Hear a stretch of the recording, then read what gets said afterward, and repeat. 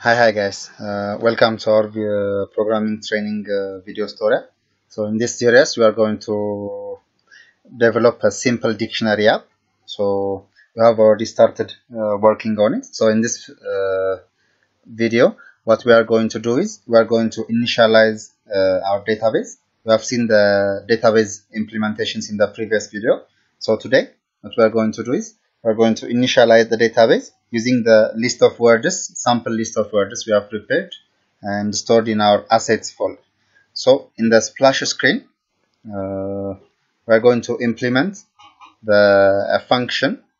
What it does is it's going to read the, the content from the file and it's going to iteratively add the the list of words into our database. Okay so sorry. So first let's see what we already have. Okay. Let's connect uh, my phone. I have a Huawei phone connected to my laptop. And we're going to see it in the device manager. The the communication is a bit slow from the software in the my mobile app. It's the application already opened on my phone it's a bit slow here. Okay. So this is what we have.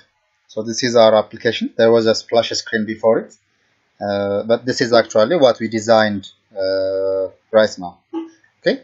So what we want is before this uh, main activity opens we have a splash screen. So on the splash screen before we open the application what we are going to do is we are going to extract the list of words from the file and store it into our database. So that on the main activity on our main activity in our previous uh, our, I think our second video we have added a list view. So we are going to populate this list view with the list of words from the database. But to bring uh, the to get the list of words first we have to initialize or we have to store the list of words from the file to our database so that's exactly what we are doing in this video. Okay. so in our splash activity, we have a function called setup words. Okay.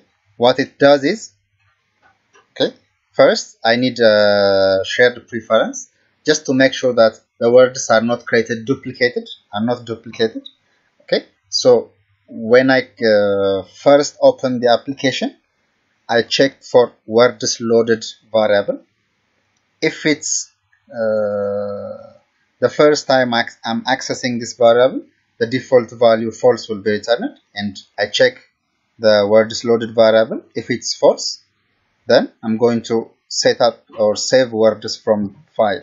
We will see this function and I will make sure that this function should not be executed again so that the the the, the words uh, won't be duplicated in our database.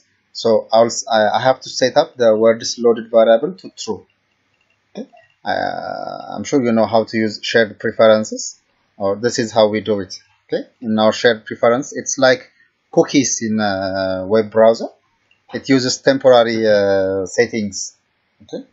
So to read uh, setting from the general settings shared preference we create and say general settings dot get string and give the variable. If the variable has value then it will be returned. Otherwise it will return the default value you can check if the variable is empty or not using the default value. So if the variable contains the default value then there is nothing stored. So after implementing the save words from file I'll set a value to the words loaded to true. So that when it comes back next time it will check that the variable is not false so it won't enter here. It will just keeps on going to the next step. Okay so that's how it works. So now I'm going to call this function here and I'll give it uh, context. Okay? Okay so what the, this uh, does is it's a timer uh, thread. I think you have explained this in the previous videos uh, when we implement our splash screen. So what we want to do is before closing the splash screen and go to the main activity we want to set up the words. Okay. So let's go inside the save words from file and see how it works. Cool so here we have the file name. The file name we provided wordlist.txt this is our file. Okay? So the using this file we have a read file a read from file function.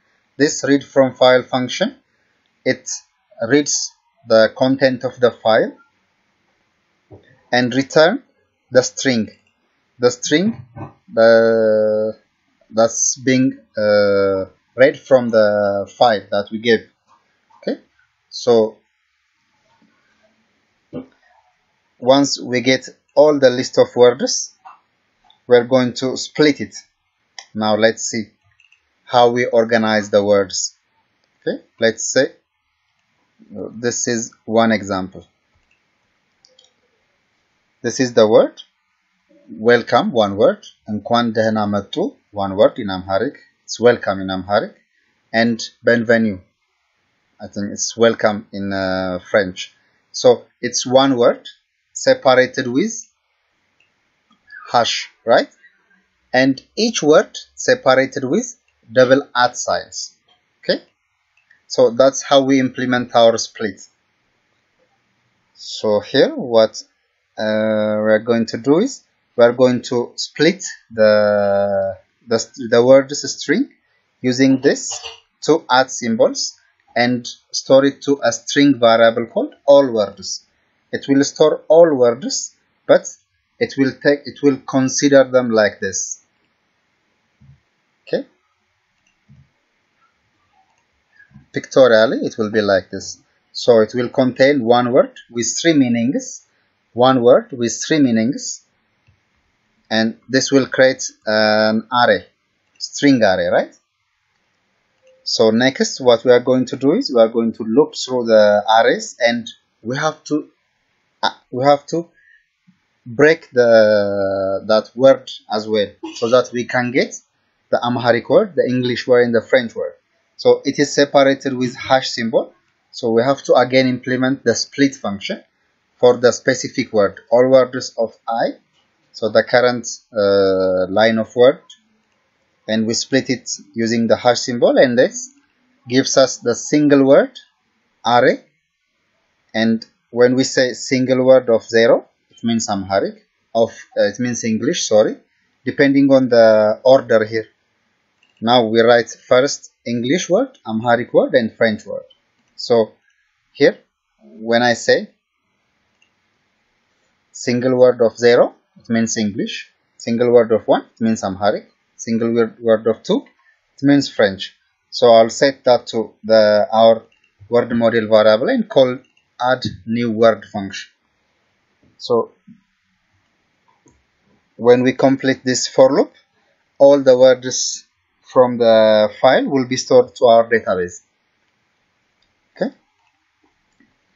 So this setup words function, when this function uh, finish executing, all our words will be stored in our database. So when we come to the main activity, our main activity class on its on create function, it will get the list of words and give it to the list view in our main activity layout so that all the words will be displayed uh, in our list view. Okay? So what we did here is we created the database logic function and we created uh, word models list of word models and from our database logic we used get all words. Okay? So we have also a list adapter. Let's see how we did the word list adapter.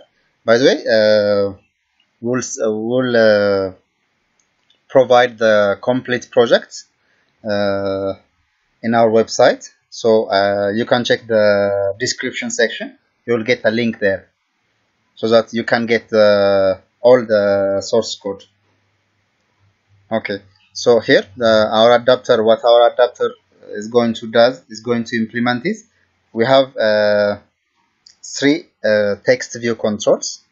Let's let me show you here. In the layout, we have created a word list XML file. What I did is right click on layout, new, layout resource file, and give it a name here. Click OK. This will give us a layout file, and I changed the constraint layout to linear layout so that I can uh, I'll get a simple uh, design and I made it um, orientation vertical and added three text views one for Amharic word one for English word and one for French word. So in our word adapter in our adapter what it does is it maps the layout design with the list of data from the database. Okay? So we provide the list, the layout here. Our layout is from resource.layout.wordlist, this XML file. And we also have the database, uh, the list of data, right? Word models in our word model. So this word list adapter function accepts the list of words. So here, what we are going to do is first we have to search the labels from our word list view we call it convert view and once we have the our functions we're going to set text of the label or the text view from word models dot get position this position means here get view has position. So this function will be implemented for each row in, in our database. That means we'll get a list of uh, rows in our list view for exactly matching the list of data we have uh, collected from our database. Okay, so in our word list adapter, when we create our word list, we provide list of models, list of word models that we get from the get all words from our database logic class. Okay, then after we create the adapter for our list of list words, it's a list view control. And in our activity main our list view is list words. The name is list word. So that's how uh, that's what we need to find from our uh, resources. So it's list words then the list view has a function called set adapter and the adapter is the one that we have created previously. So what this function will do is what this uh, list of lines will do is it will get the list of data from the database create new adapter to it and this adapter knows what type of uh, layouts I'm using so finally it will map the the layout and the list of data in this list view uh, in this uh, word list adapter and sets the adapter to our list view which means our list view will show the list of databases in a layout defined here. That means, okay. Uh, I think it's uh, it's been too much talking. Now let's see it in action. So let's run our application. Uh, okay.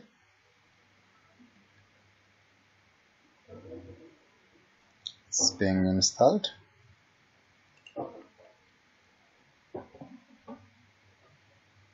okay this is our welcome screen splash screen there you go so our application had, uh, automatically created a list of databases from the file and present it in the list view. So if I want if I try to open the application ne next let's say let's now the application is closed. So let's run our application again. This time the database is already created so it will just uh, navigate to the list of words. Okay? How does it know? Because in our splash screen we have set up a setting. Okay?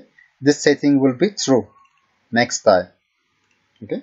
So our database our application only instance installs the list of words when the when it's executed the first time. So this is our list view. We have the database and we have managed to show the list of words in our database. So I'm scrolling down.